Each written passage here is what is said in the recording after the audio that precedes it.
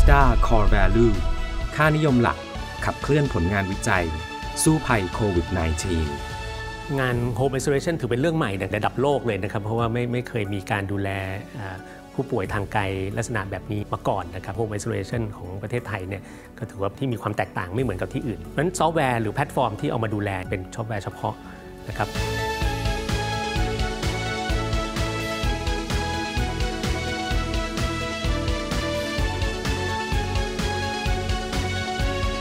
ครับสวัสดีครับ ผมกิตติวงศ์ถาวราวัฒน์นักวิจัยศูนย์ A-MED สวทชนะครับผมเป็นหัวหน้าทีมวิจัยนวัตกรรม และข้อมูลผู้สุขภาพ งานวิจัยที่ทางทีมเราทำเนี่ยก็จะเป็นเป็นข้อมูลเรื่องเกี่ยวกับเทคโนโลยี สารสนเทศ เพื่อผู้สูงอายุแล้วก็ผู้ด้อยโอกาสครับ A-MED Telehealth เป็นเป็นแพลตฟอร์มในการดูแลผู้ป่วยที่เป็นโควิด ออกแบบได้สำหรับใน state quarantine ในโรงพยาบาลสนาม Home Isolation Community Isolation เป็นแพลตฟอร์มที่เป็นการติดต่อสื่อสารระหว่างผู้ป่วยที่อาจจะพักฟื้นอยู่ที่ที่บ้าน หรือว่าที่ state quarantine กับแพทย์หรือพยาบาลที่อยู่ที่โรงพยาบาลนะครับอยู่คนละที่กันทำการติดต่อสื่อสารแล้วก็รักษานะครับทางไกลนะครับนี่คือเป็น i m e d i a t e Health ครับ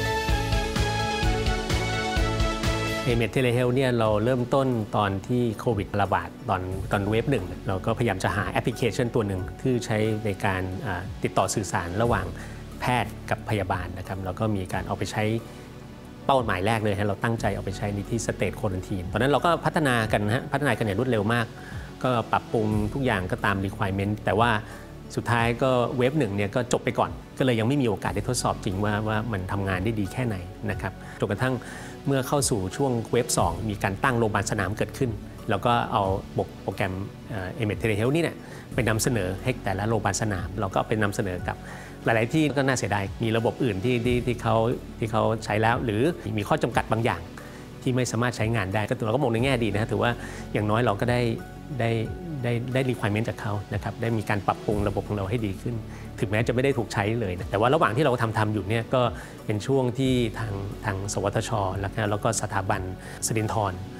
เพื่อการฟื้นฟูนะฮะทำโรงพยาบาลสนามเพื่อคนพิการเกิดขึ้นนะครับก็ถือว่าตอนนั้นก็เป็นโอกาสดีนะฮะที่ได้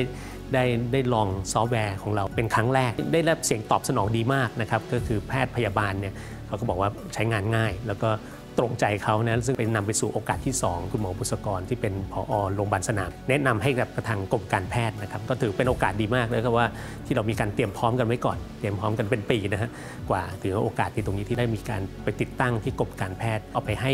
บริการกับโรงพยาบาลทั้งกรุงเทพต่างจังหวัดทั่วประเทศเลยพอดีกับทางทางสำนักอนามัยกทม ซึ่งกำลังตอนนั้นกำลังประสบปัญหามากกทม คนไข้เพียบเยอะมากนะคือวันหนึ่งหลายหลายพันเกือบหมื่นก็มีการนำเสนอให้กับผู้บริหารของของสำนักอนามัยกทมเขาก็เลยบอกว่าโอเค ให้ตกลงจะใช้ระบบนี้ละ ขอให้ขึ้นเลยได้ไหม ซึ่งเราก็บอกว่าโอเคทำได้ตอนนั้นในใจก็อืมก็เป็นเป็นเป็นความหนักใจนะฮะเราต้องการ 200 แห่งภายในไม่กี่เวลาไม่กี่วันเนี่ยก็เป็นความท้าทายอย่างมากนะซึ่งเราก็ได้อาศัย อาศัยความช่วยเหลือนะฮะจากจากทางทางศูนย์ NECTEC พี่แว่นพี่แว่นของของทางรองรองผู้อำนวยการของ NECTEC เนี่ยระดมเจ้าหน้าที่มาช่วยกัน ระบบก็เสร็จภายในเสาร์อาทิตย์เปิดใช้วันจันทร์เลย ซึ่งทุกคนก็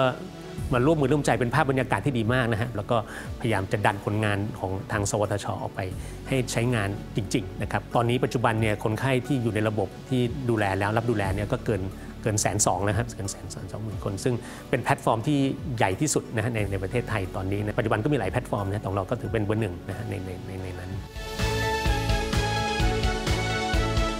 เราก็ได้ยินคำค่านิยมขององค์กรอันหนึ่งที่ที่ติดหูกันมากก็คือ nation first นะครับในงานที่เราทำทั้งหลายเนี่ย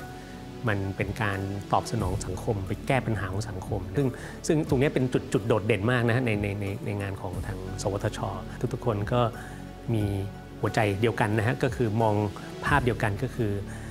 การที่ช่วยเหลือประชาชนช่วยเหลือสังคม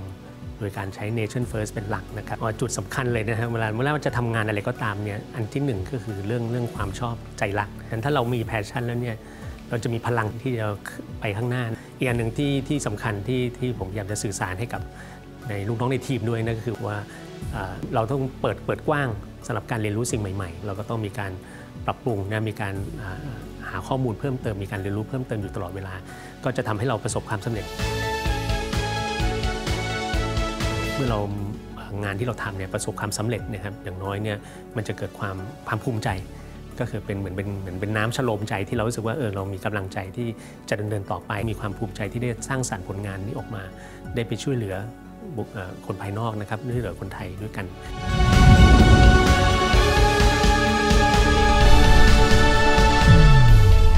วทช พัฒนาวิทยาศาสตร์ เทคโนโลยี และนวัตกรรมไทย ให้ก้าวไกลเพื่อคนไทย ทุกคน